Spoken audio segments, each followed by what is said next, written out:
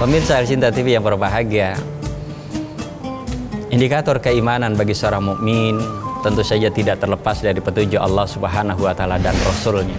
Nah, tentu saja untuk bisa memahami bagaimana petunjuk Al-Qur'an, petunjuk Rasulullah Muhammad SAW di dalam sunnahnya, kita bisa temukan jawabannya di dalam Risalah Iman bersama El Sinta TV Jakarta.